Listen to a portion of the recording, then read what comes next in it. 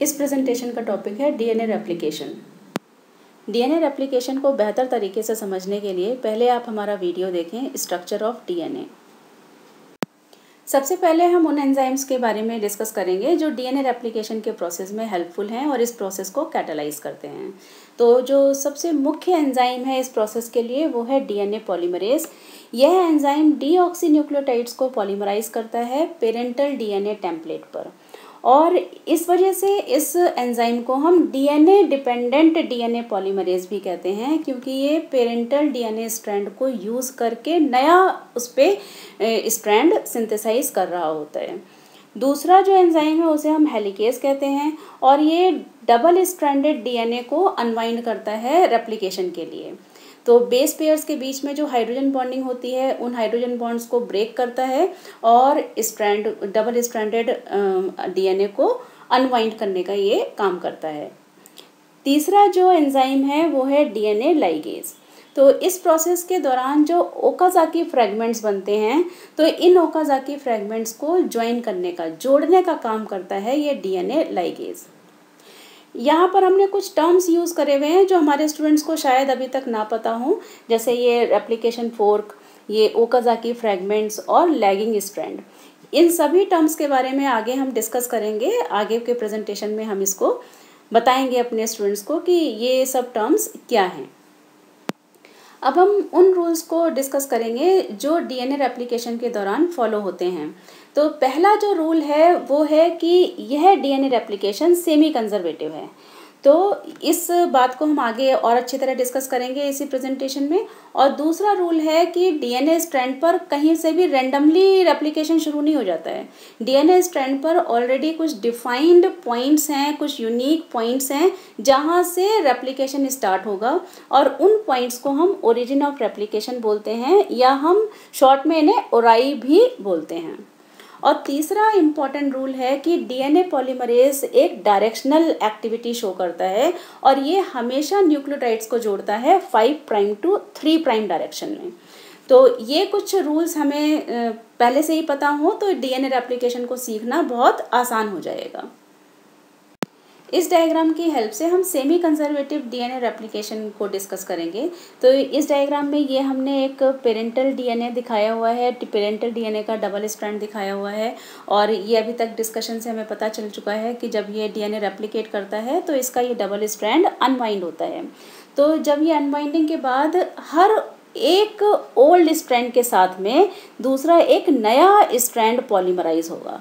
यानी कि अब जब भी डीएनए रेप्लिकेशन से एक डीएनए से जब दो डीएनए बन रहे होंगे तो दोनों डीएनए में एक जो स्ट्रैंड होगा वो पेरेंटल होगा और एक जो दूसरा जो स्ट्रैंड होगा वो न्यू स्ट्रैंड होगा। तो इस तरह के फिनमिनन को हम बोलते हैं कि ये एक सेमी कंजर्वेटिव सिंथेसिस है। जिस सिंथेसिस में एक ओल्ड स्ट्रैंड कंजर्व किया हुआ है प्रिजर्व किया हुआ है और एक नया स्ट्रैंड बनाया जा रहा है। तो इसी प्रोसेस को, इसी फिनमिनन को हम सेमी कंजर्वेटिव डीएनए रेप्लिकेशन कहते हैं। इस डायग्राम की हेल्प से हम सीखेंगे कि रेप्लिकेशन बबल क्या होते हैं। तो अभी तक के डिस्कशन से हमें पता चल चुका है कि डीएनए रेप्लिकेशन कहीं से भी रैंडमली शुरू नहीं हो जाता है। किसी भी डीएनए स्ट्रैंड पर कुछ डिफाइंड पॉइंट्स हैं, जिन्हें हम ओरिजिन ऑफ़ रेप्लिकेशन कहते हैं। और एक डीएनए पर, एक डीएनए स्ट्रैंड पर एक से ज़्यादा ओरिजिन ऑफ़ रेप्लिकेशन हो सकते हैं। तो जब भी रेप्लिकेशन स्टार्ट होगा तो इन्हीं पॉइंट्स से स्टार्ट होगा। जो डीएनए अनवाइंड होना शुरू होगा तो वो ओरिजिन ऑफ़ रेप्लिकेशन से ही अनवाइंड होना शुरू होगा। तो ये जब डीएनए अनवाइंड होगा तो ये एक बबल लाइक स्ट्रक्चर्स यहाँ पे ओरिजिन ऑफ़ रेप्लिकेशन पे हमें दिखने शुरू हो जाएँगे। तो इन बबल लाइक स्ट्रक्चर को हम रेप्लिकेशन बबल्स बोलते हैं। तो जब ये नया डीएनए बनेगा तो ये रेप्लिकेशन बबल दोनों डायरेक्शन में ये प्रोसीड करेंगे और एज अ रिज़ल्ट हमें एक डीएनए से दो डॉटर डीएनए मॉलिक्यूल्स हमें मिलेंगे। तो इस डायग्राम की हेल्प से हमने अपने स्टूडेंट्स को रेप्लिकेशन बबल्स बताने की कोशिश करी है कि ये रेप्लिकेशन बबल्स क्या होते हैं। इस डायग्राम की हेल्प से हम सीखेंगे रेप्लिकेशन फोक के बारे में। तो अभी तक हमने देख लिया है कि रेप्लिकेशन बबल्स क्या होते हैं। अब इस डायग्राम को आप विजुलाइज कीजिए कि ये बीच से टूट गया ये। और फिर हमने इस एक रेप्लिकेशन बबल के हाफ़ को हमने थोड़ा सा घुमा दिया 90 डिग्री पे तो ये इस तरह से एक ये स्ट्रक्चर आ गया।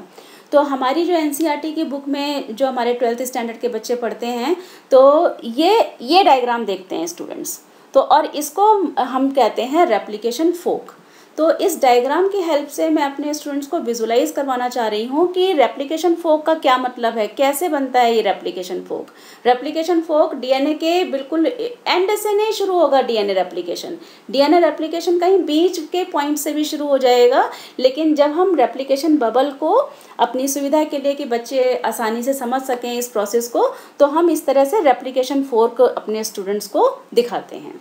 तो इस डायग्राम से मैंने स्टूडेंट्स को समझाने की कोशिश करी है कि रेप्लिकेशन फोक क्या होता है।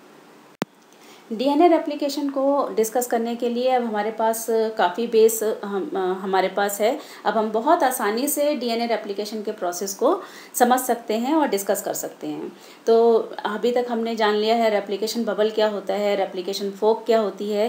तो डीएनए रेप्लिकेशन से पहले ये पेरेंटल डीएनए अनवाइंड हो चुका है और ये जो हमने अभी तक बातें डिस्कस करी हैं, अभी तक जो पॉइंट हमने सीखे हैं, वो सब यहाँ पर इस वाले डायग्राम पे हम देखेंगे कि समराइज होंगे वो सारे पॉइंट्स तो ये सेमी कंजर्वेटिव डीएनए रेप्लिकेशन दिखा रहे हैं, क्योंकि एक पेरेंटल स्ट्रैंड है और ये कुछ नए स्ट्रैंड बन रहे हैं.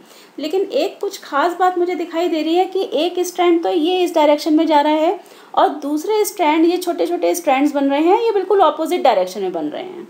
तो ऐसा क्यों हो रहा है? तो ऐसा इसलिए हो रहा है कि अप, मैं अपने स्टूडेंट्स को रिकॉल कराना चाहूँगी। एक रूल हमने बताया था कि ये डीएनए रेप्लिकेशन हमेशा five prime to three prime direction में प्रोसीड करता है। तो five prime to three prime direction का तो हमें रूल फॉलो करना ही है। साथ में एंटी पैरेलल ओरिएंटेशन को भी फॉलो करना है। एंटी पैरेलल ओरिएंटेशन क्या होता है कि अगर एक strand five prime to three prime जा रहा है तो दूसरा स्ट्रैंड फिर three prime to five prime होगा। तो जैसे यहाँ पे देखिए तो ये एक पेरेंटल स्ट्रैंड है जो three prime to five prime run कर रहा है।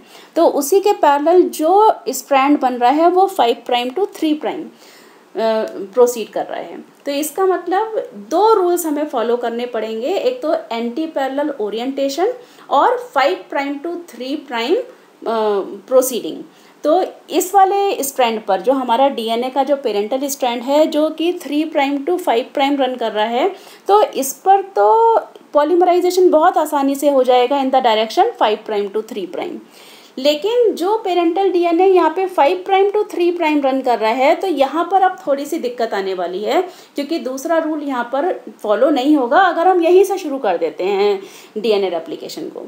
तो इसके लिए क्या होता है कि बबल थोड़ा थोड़ा विजुलाइज कीजिए कि बबल थोड़ा थोड़ा अनवाइंड हो रहा है और जितना एरिया अनवाइंड हो रहा है तो डीएनए पॉलीमरेज जो इस वाले स्ट्रैंड पे काम करेगा, वो उल्टे डायरेक्शन में ही पॉलीमराइज कर पाएगा न्यूक्लियोटाइड्स को। तो इस five prime to three prime वाले स्ट्रैंड पर कई सारे छोटे छोटे स्ट्रैंड बनेंगे इन द ऑपोजिट डायरेक्शन तो इस वजह से ये छोटे छोटे फ्रैगमेंट्स बनते हैं ऑपोजिट डायरेक्शन में और यहाँ पर एक continuous three prime to five prime वाले स्ट्रैंड पर एक हमें कंटिन्यूस स्ट्रैंड बन, रहा होता है और इस स्ट्रैंड को हम लीडिंग स्ट्रैंड बोलते हैं। जबकि five prime to three prime parental strand पे जो छोटे छोटे फ्रैगमेंट्स बन रहे हैं डीएनए के इन द ऑपोजिट डायरेक्शन इनको हम ओकाजाकी फ्रैगमेंट्स बोलते हैं। तो three prime to five prime वाले स्ट्रैंड पर ये जो कंटिन्यूस फ़ैशन में जो सिंथेसिस हो रही है पॉलीमराइजेशन हो रहा है, इसको हम कंटिन्यूस सिंथेसिस बोलते हैं, जबकि five prime to three prime वाले पेरेंटल स्ट्रैंड पर ये जो फ्रैगमेंट्स में जो सिंथेसिस हो रही है, इसको हम डिसकंटिन्यूस सिंथेसिस बोलते हैं। तो लाइगेज का जो डीएनए लाइगेज जो आपको हमने पहले ही बताया है तो डीएनए लाइगेज इन ओकाजा के फ्रेगमेंट्स को जोड़ने का काम करेगा।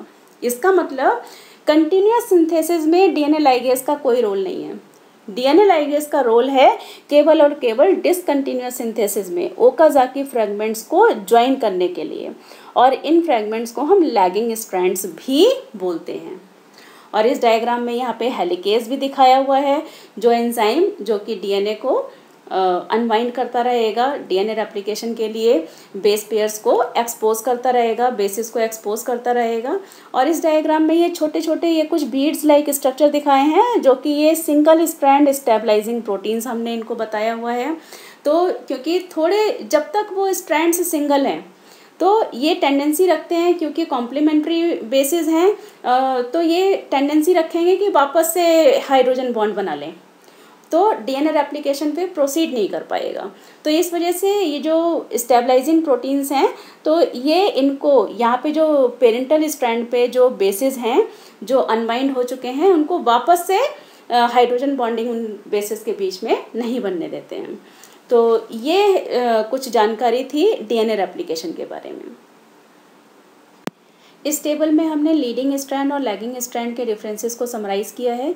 जो स्टूडेंट्स बोर्ड की तैयारी कर रहे हैं तो उन स्टूडेंट्स के लिए ये डिफरेंसेस बहुत इंपॉर्टेंट हो सकते हैं, क्योंकि बोर्ड में इस तरह के डिफरेंसेस पूछे जा सकते हैं। Please check your understanding by answering these questions